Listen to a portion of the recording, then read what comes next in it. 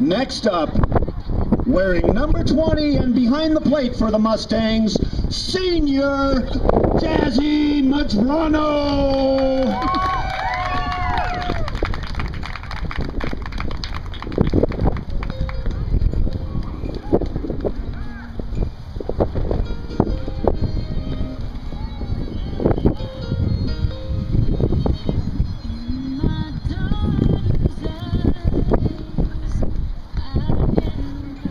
Jazzy came to Mountain Range High School her sophomore year from Holy Family High School and has been a varsity starter for three years.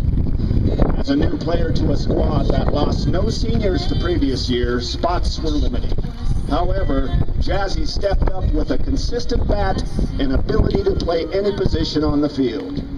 Janny Jazzy's mental approach to the game makes her one of the best situational hitters on the team. Even though she has been the starting catcher for the past two seasons, her flexibility has provided her the opportunity to play just about every position in the field in her three years with the team. Jazzy's From Coach Dane Craig, I've known Jazzy and her family for many years. She played in an organization for her father Jody that I started many years ago. Janny Jazzy is one of the scrappiest players I have ever seen. She knows the game in and out and will take advantage of situations when the other teams make mistakes. Coach Dane's favorite memory of Jazzy. I don't have just one memorable moment. The one I'll share, though, is from the Erie Tournament of Champions this past year.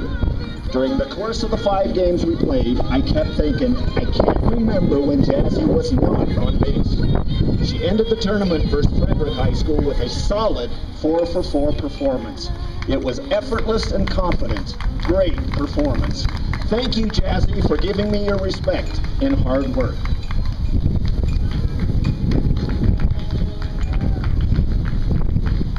The coming months, Jazzy will attend a few college exposure tournaments with the Liberty of Northern California. In the fall, Jazzy will attend Metro State College where she will explore playing softball for the team and studying forensic psychology. Good luck, Jazzy.